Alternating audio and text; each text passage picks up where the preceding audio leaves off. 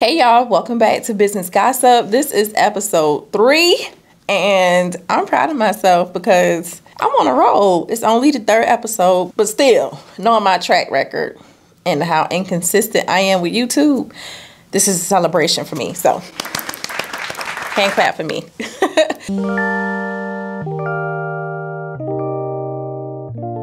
Welcome to Business Gossip, episode three, where we talk about everything business. So, here we spill the tea on everything business, teaching you the same principle and strategies I use to scale my business to multiple six figures.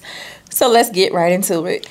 So, I want to talk about the customer's buying journey. And I want to talk about that because I posted a video on TikTok I got so many comments from people saying how slow their businesses are, they're not getting any sales, and they've been in business for quite some time. So I'm going to tell y'all what customers think when they come across your website. So I'm going to put myself in the customer's um, point of view so you can understand why your business is slow. But I want to say this just because your business is slow right now does not mean your business is failing. It just means you're in the learning stages. Use this time to wear the different hats in your business. You're the marketing agency, be the influencer, be the customer service support, be all of those things. When you wear these different hats in your business, it allows you to minimize the problems that you'll face when you're when you start to scale. When you start getting chargebacks or when you have a customer support issue, um, when you decide to hire a marketing agency and they're not doing their job properly, you can go and look in your Facebook ads manager and see where the ads aren't performing. So take this time and be a student in your business. That's a good word. Take the time to be a student. So when you have worn these different hats and you feel like you are in the space to where you're able to now you're ready for the traffic, you you're ready for the influx of orders and you have the manpower to package and ship these orders. This is what I want you all to understand. So when a customer comes to comes in contact with your brand, immediately they are not coming to buy. They're coming to be nosy, they're coming to scope things out, see what you're selling, how committed you are to the brand, and they want to get to know you as the brand owner. When I first started my business selling shoes, and I began running ads, the first thing I see on my comments is always, Have you received this order? Is this business legit? And they'll ask and tag other customers, Hey, love, did you get your order? So you have to be able to build that brand trust. So the first time they come in contact with your brand or they go to your website, they're just going to browse around. That's the first time. It's going to take your customer three to four times to visit your website before they decide to make a purchase. So you have the customer's buying journey, and then you have your funnels in place. And what your funnel is, is all of the back office automations, your email and text messaging series. When a customer comes to your website and they click on a specific product that they may be interested in, this is where your funnel will take place. Your funnel and all of your automations are going to capture and also Google Analytics. They're going to capture that buyer's journey as they click around on your website. So if you go to your Google Analytics, you can see where a customer is spending most of their time. So in your Google Analytics, you can see how long a customer has stayed on a product page. And if there's a trend of multiple customers coming to that specific product, you know that that is going to be your top selling product. So you need to put that product on the front of your home page. Do not make it hard for customers to find a product that you see in your data that can possibly be a top selling product. So back to this, back to the journey. When a customer comes and they click on a product, they spend time on a product, they may add it to their cart, they may get to the checkout page, but decide not to buy. A lot of customers know if they abandon their checkout, they're going to get an automatic email or text messaging saying, hey, you've abandoned your cart. Here's 15, 20% off, blah, blah, blah. Come complete your purchase. And then they may complete it, right? If a customer comes to the website and they browse the product, they've added to the cart, get to the checkout stage, but decides to abandon checkout and you don't have your automations in place, you just lost a potential customer. But if you have that automation in place, that's a part of your funnel and you able to capture that customer, that potential customer who is now a warm audience, and you capture them within your funnel, they're in your funnel forever. So you can continue to send them emails and text messages as long as they do not unsubscribe. So as a customer, those who are out there in the world that has no idea about who or what your brand is, they are considered cold audiences. They don't know anything about you, they haven't seen you before. So when they see your ad or whatever it is, your content on social media, and they click on it, they start browsing your content, going on clicking on your page, Facebook, Instagram, YouTube, or even TikTok, they then become a warm audience because they decided to click around, they find something that they're interested in. Once they hit that website, you make sure you have a pop up in place to capture their email and um, text message. You have to stay in front of your audience so that you can be, make sure you stay relevant. One of the issues that I had with my shoe business is I was really bad about staying in front of my audience. I would go viral, my boots would sell out, but then I get lost. And then when I try to make another post, days later, I'm lost in the algorithm. So I have to warm Instagram up again for me to be able to start getting hundreds and thousands of views again. So you want to make sure you have your automations in place when it comes to email and text messaging. If you do not post on social media, make sure you are staying in front of your audience face because once they make a purchase or they start browsing around, they are interested in you. So now you just need to continue to feed that audience so that they can continue to be a returning customer. Once you have a customer in your email or text message database, you want to cherish those people because they know who you are, they know your product is good. So you want them to continue to purchase from you. You want to retain them as a customer. That's where customer retention comes in. Now, when you're sending these emails and text messages out, I want you to make sure you keep in mind of the audience that you have. Y'all know when we get these text messages, if you're on Fashion Nova text message list, they know who their audience is. Fashion Nova be cursing in their text message. They be saying all type of stuff. They just reckless with their text messaging, but they know who their audience is. They know what their audience tone of voice is. So they use that. And then, you know, of course, they're a multi million dollar business. So let me describe what a funnel would look like. At the top of your funnel would be your ads or your content, what the customer will see the first time they see your brand. The middle of the funnel would be your pop ups on your website, your email, and text messaging marketing. Okay. And then the bottom of the funnel will be your retargeting ads or something that will get your customer get the customers back to complete a purchase. A lot of people do get discouraged when they start to run Facebook ads that they're not getting a lot of traffic. And it's probably because you are running the incorrect type of ads. Now, with traffic ads, which I see a lot, you're just basically telling Facebook to go get me um, anybody who will be interested in just coming to my website browsing. You're not asking Facebook to go grab those people who want to are engaged shoppers or who are looking to purchase. Make sure you're always running conversion ads. Conversion ads are telling Facebook to go grab those people who are interested, who will be most likely interested in my product, product and are looking to make a purchase. If they're not looking to make a purchase right away, I'm going to keep in front of them because something that I have they are interested in, and I'm going to use my automations, which is my funnel, to bring them back and then add them onto my text message and email list and have them as a returning customer. So when you set up your Facebook ads, you should only be running two campaigns. You should be running a conversion campaign and also which is the top of the funnel and then you want to run a retargeting campaign which will be at the bottom of the funnel. A retargeting campaign is someone who came to the website, decided not to purchase and they go back on Facebook, Instagram, TikTok, whatever and they see another different ad from you.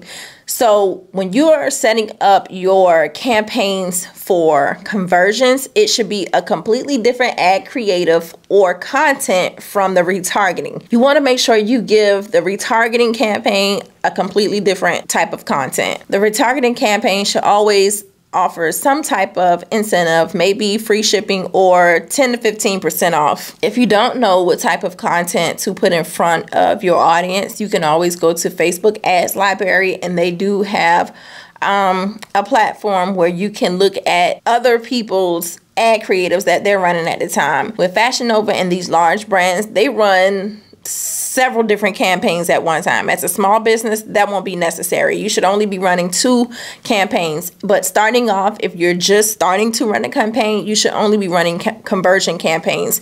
But let me say this don't expect to make sales, a lot of sales rather, when you're first starting to run Facebook ads. When you begin to run Facebook ads, that first two weeks, you're just strictly collecting data and telling Facebook, well, and the ads are telling Facebook what audience they should continue to target as those ads continue to run. Now, as your ad account begin to warm up and learn what type of audience that they should pull into your website, Facebook would then do a better job of grabbing those audiences who are most likely going to purchase.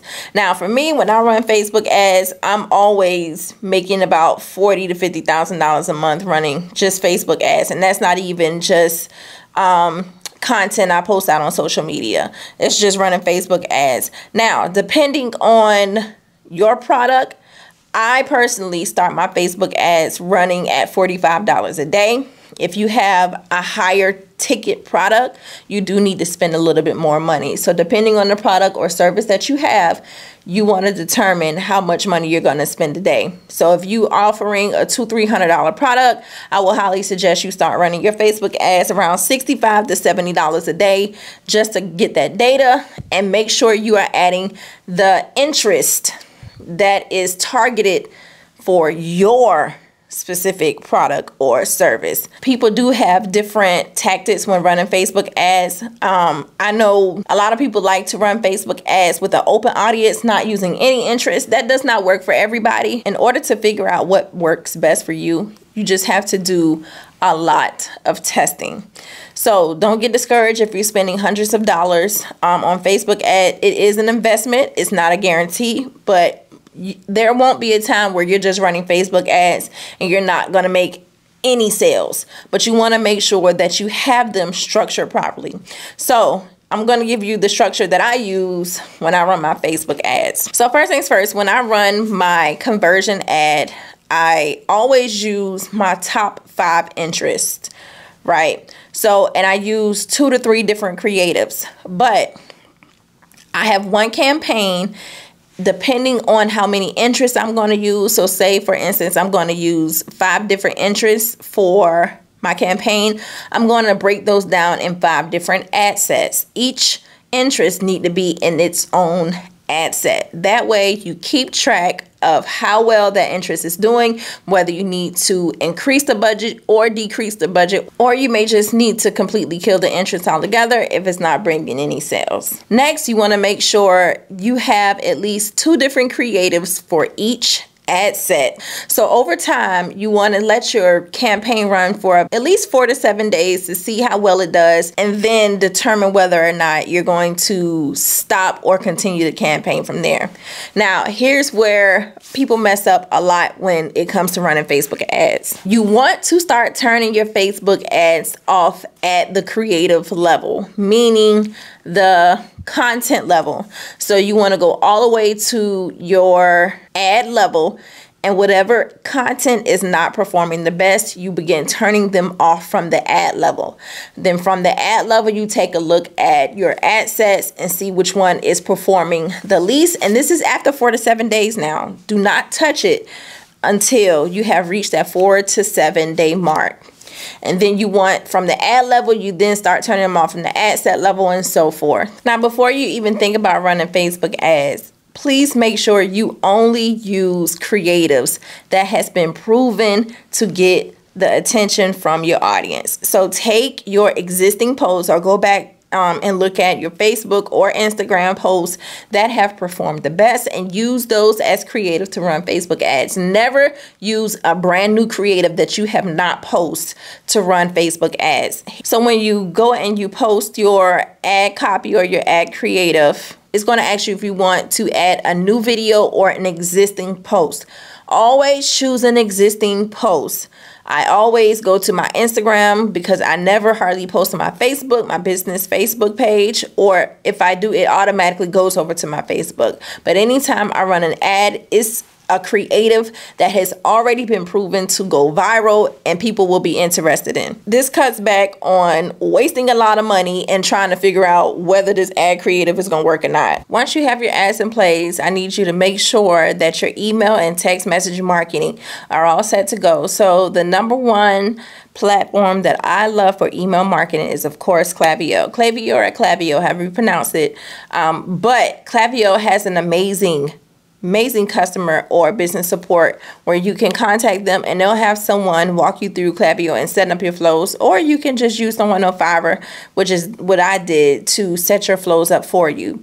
So one way one creative way to be able to stay in front of your audience is send out um, a product of the day, send them happy birthday emails, offer them incentives for their birthday. Even for the holidays, you should always have some type of email going out automatically for holidays. And it may take some time, but have all this stuff set up so that you can just set it and forget it. If your automations is not in place, y'all, you are leaving thousands on the table. For text message marketing, I suggest using SMS Bump. I know Klaviyo now has um, text message embedded with their platform, but I still have a completely separate platform for my text message. So I do use SMS Bump. So for my email automations, I have when someone comes to my websites and sign up for um, my pop-up you know you have the pop-up that comes up and say you know enter your email address to receive 15% off that will be considered your welcome series so when you send them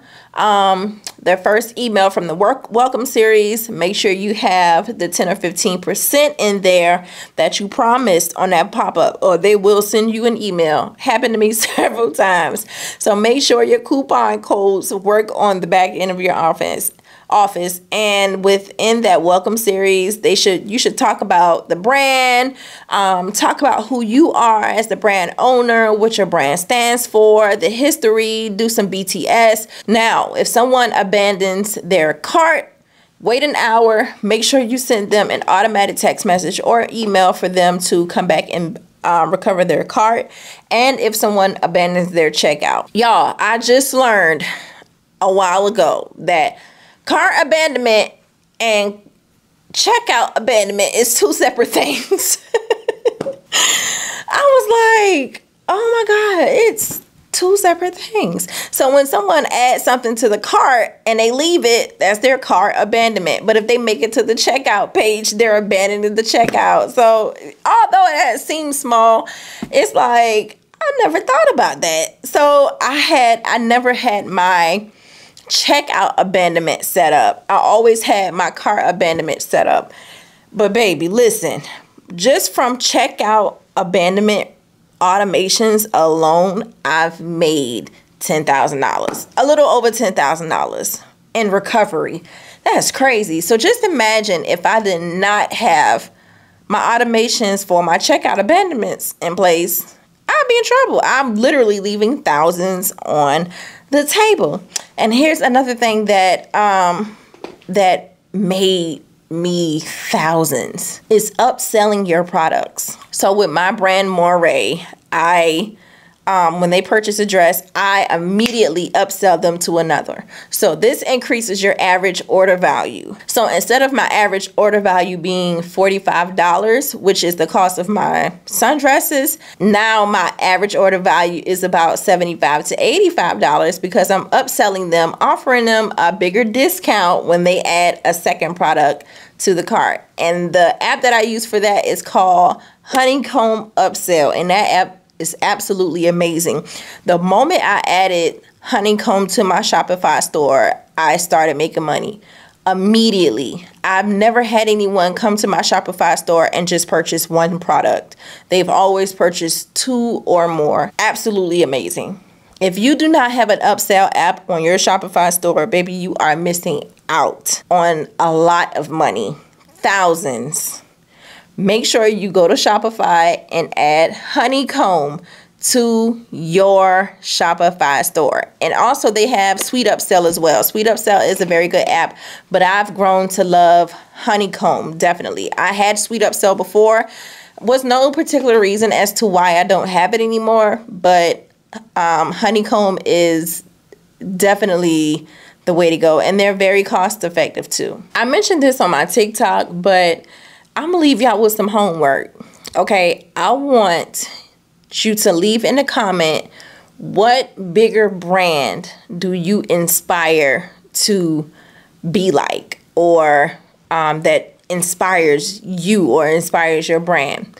And whatever that brand is, tonight I want you to go and get on their email and their text messaging list and purchase some from purchase something from them. See how they package their products. Look at how they speak to the audience because if you inspire to be like them, they probably have the exact same audience as you do.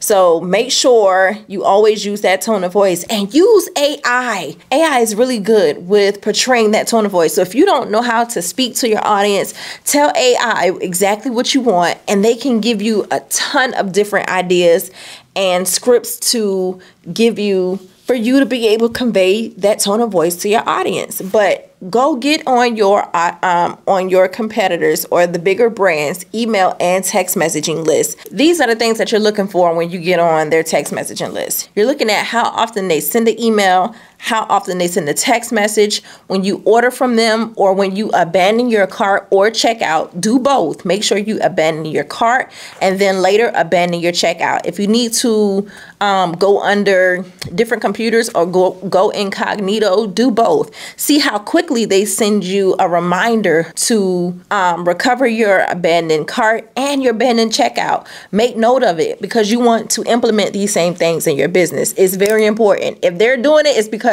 they're working. So you need to do it so it can work for you as well. Because again, y'all have the same audience. So everything may not work for everybody, but you're in the testing phase. As your business is growing and you're learning, use this time to test different things in your business so that when you do grow and you scale, you know what works. This is the biggest advice as a business owner that I can give you never change what's working. Let it continue to work until it fades out. And once it fades out, then you make the necessary tweaks.